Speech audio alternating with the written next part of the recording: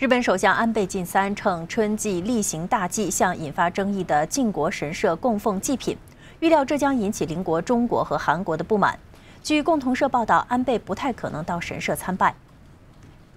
日本首相安倍晋三星期五向开始举行春季例行大祭的靖国神社以首相名义供奉了祭品，同时也有九十多名政要前往神社参拜。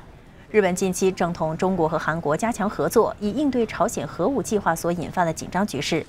但由于神社中供奉的除了二战死难者之外，还有十四名二战甲级战犯，预计这将再次引起中国和韩国的不满。马西进日本内阁秘书长菅义伟指出，安倍是以个人立场供奉祭品，日本政府不愿加以置评。